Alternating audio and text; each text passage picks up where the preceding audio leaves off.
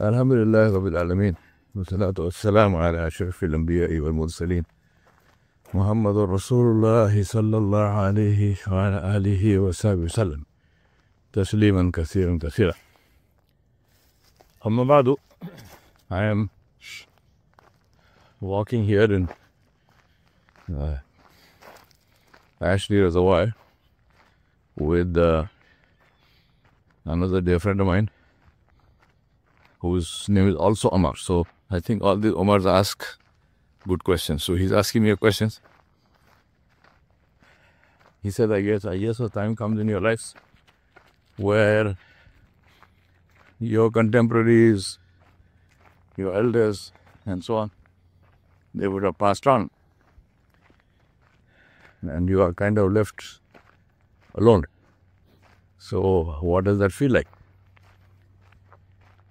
So I said to him that I'm getting there. I'm getting there myself because, Alhamdulillah, uh, may Allah subhanahu wa ta'ala grant them Janatul Firdaus without hisab. Both my parents have passed away and my wife's parents. And uh, of course, several of my, several, almost all, almost all, not all, of my teachers have passed away. Um, and also now, um, for a while now, actually, some of my contemporaries, which is uh, people I went to school with, some people who were younger than me. Zulfi, for example, who was in his 40s, and Afzal, who was my student, and alhamdulillah went up to the level of ADG, Assistant Director General of Police in uh, Bhopal. And uh,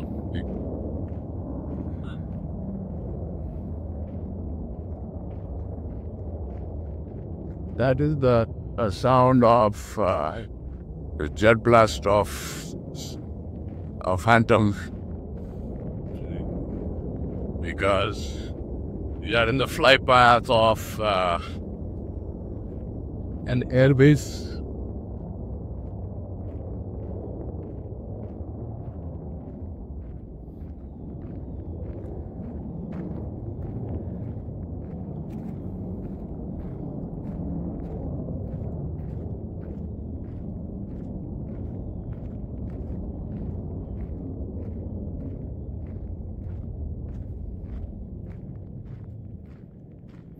So that was the jet blast of uh, Phantom because you're in a flight path of uh, near an airbase.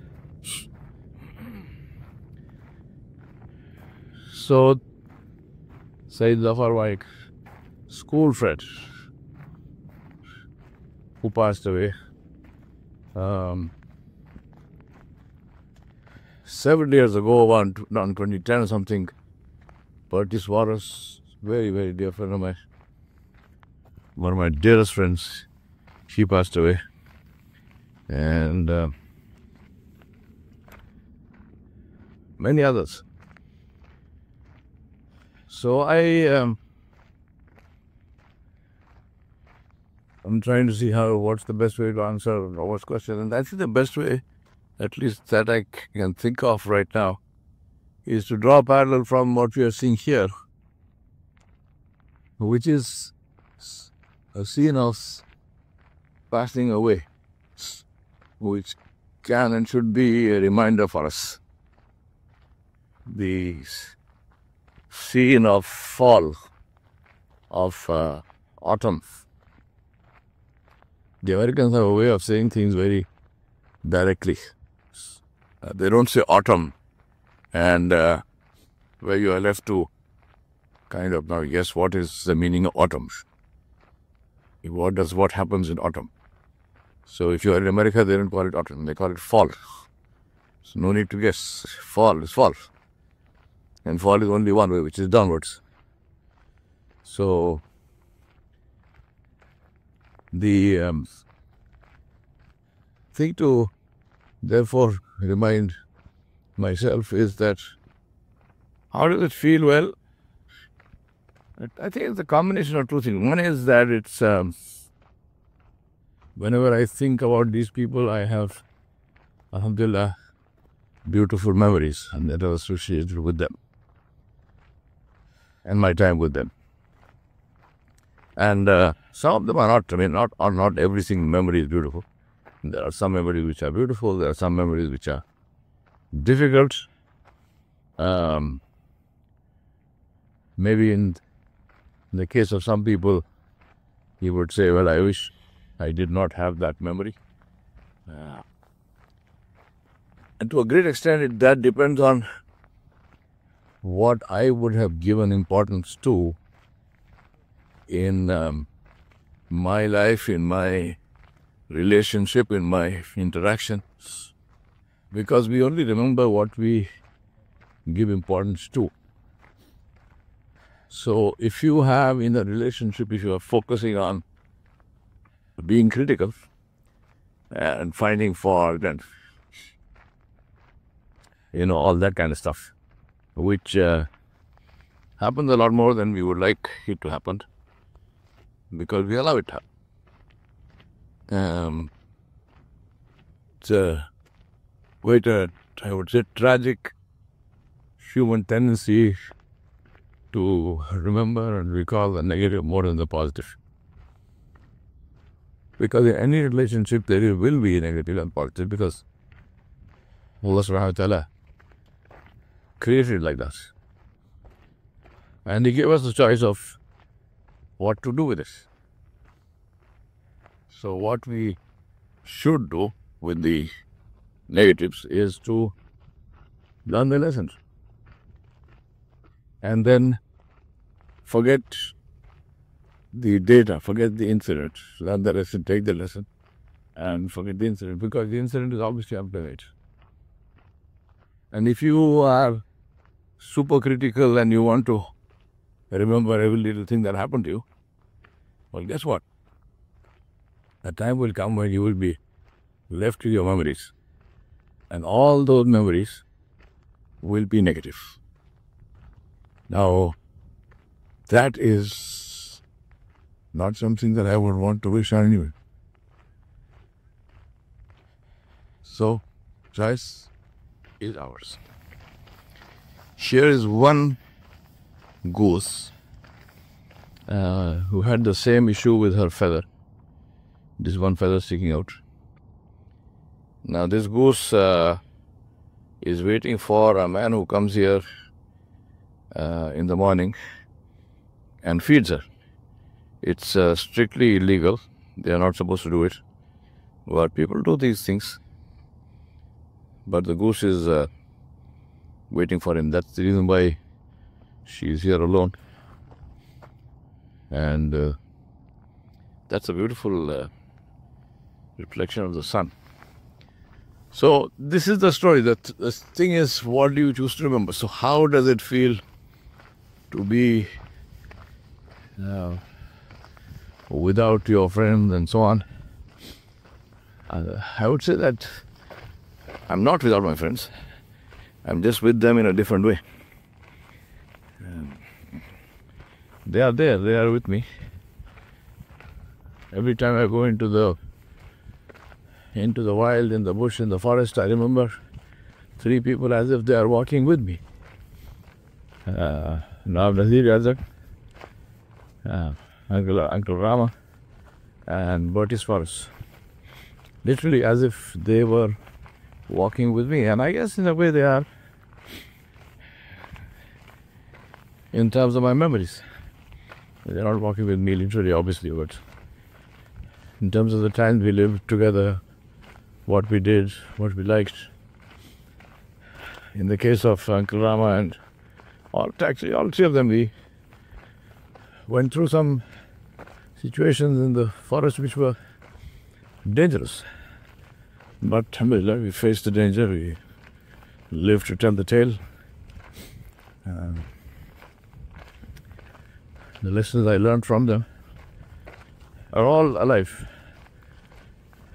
And again, this message, the message is this that it's is what I choose to keep alive.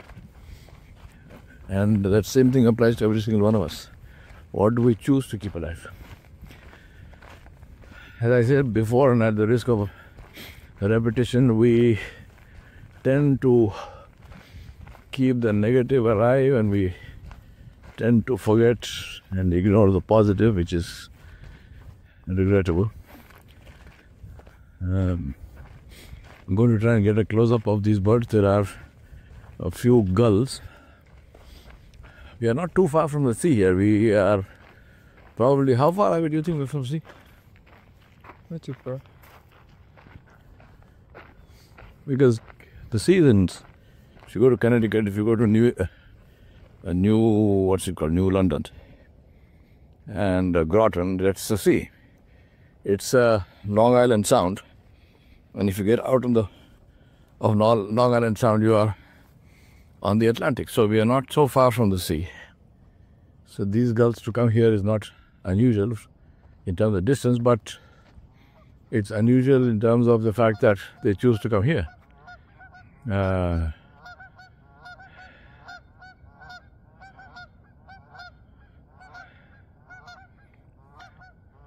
there's the alarm call of the geese and the girls decide to listen to them. But then they realize that there is really nothing to fear because we're not trying to harm them in any way. So they land back there and we did one. So memories, and that's why I think that my message to myself and to all of you is choose your memories. Choose your memories very carefully because a day will come when that is all that you will be left with your memories. And if you want to be left with a lot of painful memories, that's your choice. But if you want to be left with a lot of beautiful memories, that is also your choice. And that's irrespective of who the people were involved. You will get both. You will get memories that you would be happy about because of the learning, and be memories that you will not be about. What we choose to keep is up to us. Ask Allah subhanahu wa ta'ala to grant us the wisdom to take from life all the positive that He sends us and to leave behind the negative that's sometimes it comes covered in. And I want to end with the hadith where Rasulullah said, Allah subhanahu wa ta'ala sent Jibreel alayhi salam he finished making Jannah. He said, Go take a look at it. So Jibreel went and took a look at Jannah. And came back and Allah subhanahu wa ta'ala said, What do you think? And of course Allah subhanahu wa ta'ala knows everything. So these are all conversations for us to run. So, Jibreel said, Yarab, it is so incredibly beautiful that not a single person will miss getting in there. Every single man and jinn that you created will be in there. So Allah subhanahu wa ta'ala said, I will surround it with makari, with uh, temptations, all kinds of temptations. And then Jibreel Islam said, Ya Rab, if you do that, then I fear that not a single one of them will be able to enter Jannah. And indeed, that is the reality because Rasulullah said you would get into Jannah only by the grace and mercy of Allah, not by your deeds. So none of us is exempt from or free from or protected against the makari, against the temptations of this life. The key is to try to keep ourselves safe from it by ensuring that our environment is free from them, which means the first thing you do as far as temptation is concerned is not be brave and fight, but run like hell. Run like hell. Run away. There is nothing shameful or cowardly about running away from Jahannam. So, run away. And uh, the second thing that we can do and we should do, if despite our efforts we do fall into it, which happens, and which can happen more than once, is immediately, immediately, without delay, make istighfar and tawbah. This is the thing that distinguishes and distinguished our father and mother, Adam alayhi salam and Hawa alayhi salam, from shaitan, from Iblis Because they immediately made istighfar and tawbah. They said, ربنا ظلمنا أنفسنا وإن لم تغفر لنا وترحمنا لنكونن من الخاسرين. Whereas Iblis said, give me time. أنذرني إلى يوم يبعثون. Said, give me time until the day of judgment.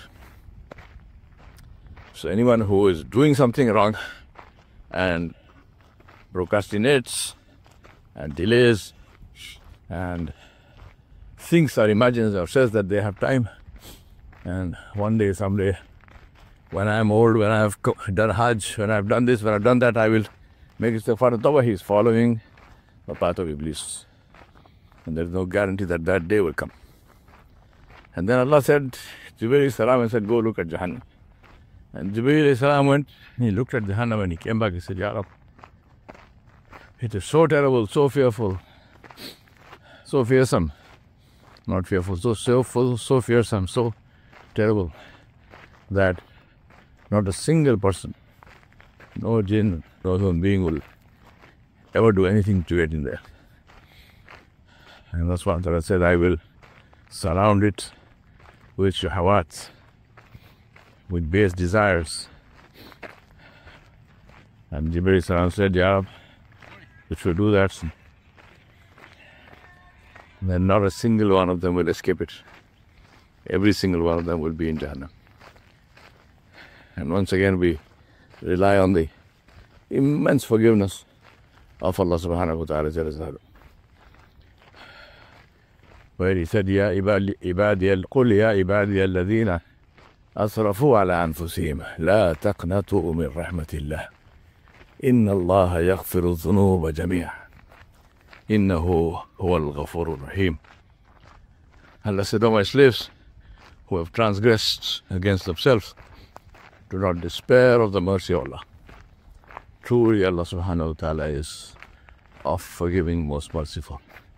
Truly Allah subhanahu wa ta'ala is forgive all sins. And truly Allah subhanahu wa ta'ala is of forgiving, most merciful. So I remind myself and you, let us remember the good things from our lives, experiences, relationships, people, friends, and forgive them and forgive ourselves for whatever is negative. Take the lesson, leave the story, and continuously and constantly keep seeking the mercy of Allah. Run away from everything which is haram and towards the mercy of Allah by seeking His forgiveness and by repenting. وصلى الله على نبي الكريم وعلى آله وصحبه أجمعين برحمتك يا